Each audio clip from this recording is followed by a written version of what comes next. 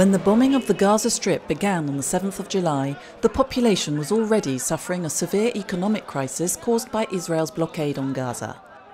The stated aim of Operation Protective Edge is to halt rocket attacks by Hamas and to destroy tunnels into Israel.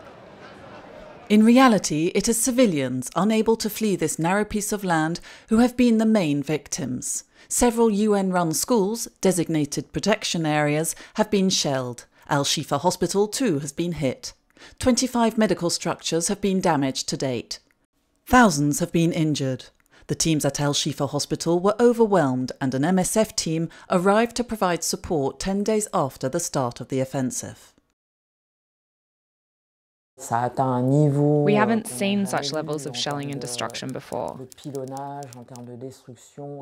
And the medical teams were extremely concerned about the numbers of victims they'd find in the streets, keeping the operating room running around the clock, and so on.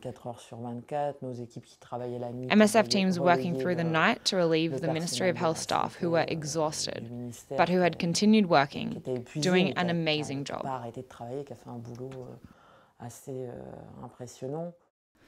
Multiple injuries, burns, shrapnel wounds.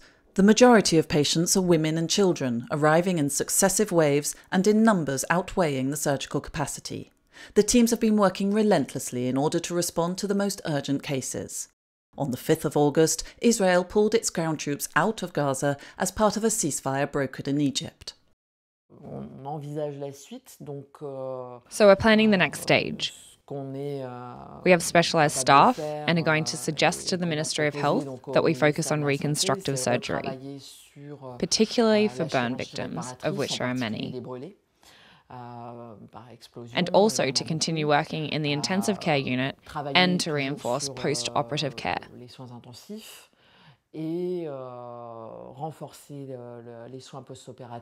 Two days after the start of the ceasefire, the 520,000 displaced people started to go back to their homes, the majority of them to find little more than a pile of rubble.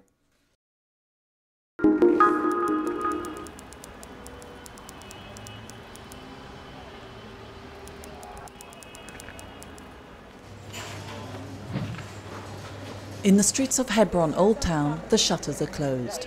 Behind them are families who have been subjected to violence, arrests and destruction caused by the Israeli army. As the military offensive continues in Gaza, there have been violent clashes in the West Bank. Like many Palestinians, Zainab stood by, powerless, as her home was destroyed before her very eyes. At 3 in the afternoon, 14 military jeeps filled with soldiers arrived, and two bulldozers.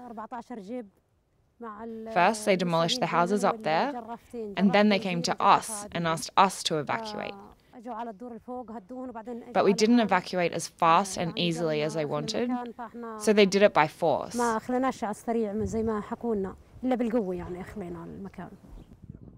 Since the 18th of June, MSF, which runs a mental health program in Hebron, has scaled up its activities and is trying to receive as many patients as possible, including children in a state of shock and people with post-traumatic stress. In the space of one month, the team has carried out over a thousand consultations.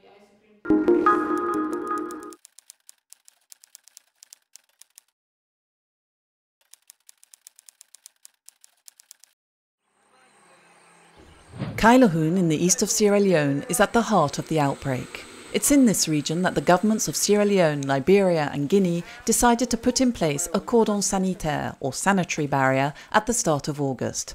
Health services have been reinforced and the mobility of the population limited. Sierra Leone has been hit the hardest with over 450 cases of Ebola confirmed at the beginning of August.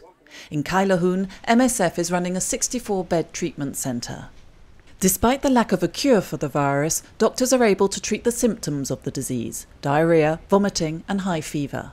A psychologist is also working with patients and their families. And 200 community health workers are educating the local population about the disease and the necessary measures to take.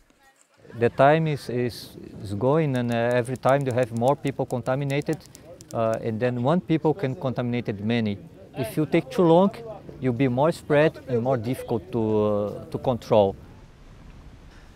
MSF has increased its logistical and staff capacity in Guinea and Sierra Leone, but it does not have limitless resources, and yet the epidemic continues to spread. At the start of August, the countries affected and the World Health Organization finally announced a series of concrete measures to contain the epidemic. These measures need to be implemented urgently.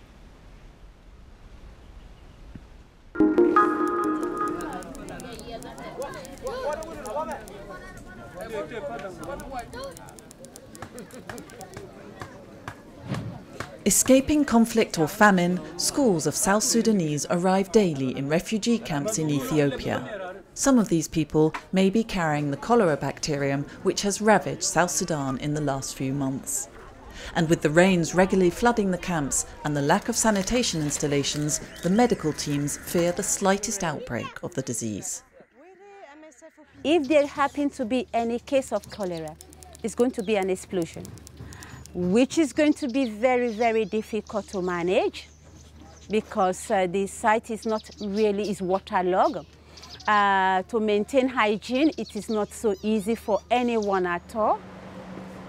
Before any cases appear, MSF has launched a preventive vaccination campaign in the camps and the surrounding villages.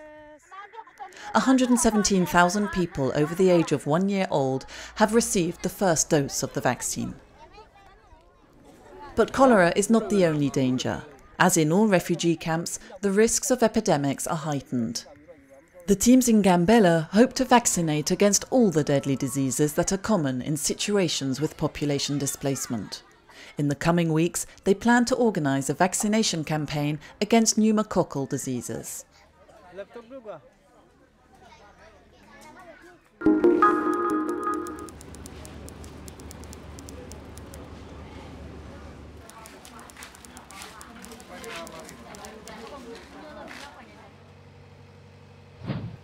A weekly injection directly into the eye for four to nine months. For many years, this was the only treatment available against CMV retinitis in Myanmar, and many patients turned it down.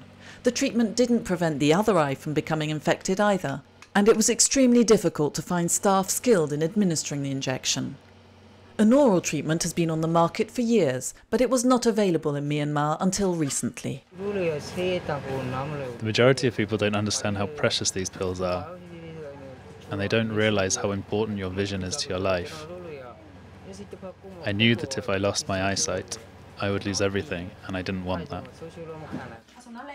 The oral drug is called Valganciclovir. After several years of negotiations, the drug is now available at an affordable price, and MSF is able to offer the drug to its patients in Dawei, in the south of Myanmar. By 2015, all MSF patients in Myanmar will be able to benefit from the drug, which is simpler and more effective and prevents the infection from spreading, which is of course another radical change for patients. But the price of the drug is still too high and it does not feature in World Health Organization guidelines. Because of these two barriers, numerous patients continue to endure painful injections or risk losing their eyesight.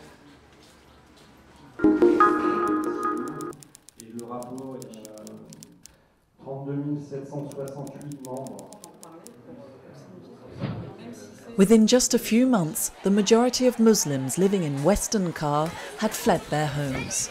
Their only hope of survival was to seek protection in small enclaves, flee to the east, or cross the border into a neighbouring country.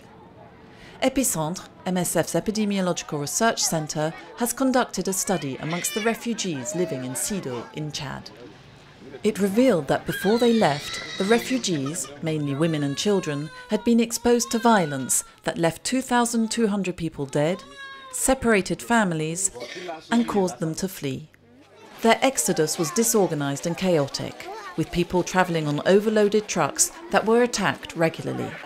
The study also revealed that 322 people died during the transfer to Chad. Despite being escorted by the Chadian army, people said they had been subject to attacks, sometimes very violent incidents, rape and armed attacks, during their journey by truck, mainly to Chad. Last May, the Chadian government closed its border with CAR, and trucks can no longer travel towards Cameroon. Those refugees that do make it across the border do so on foot, walking for weeks.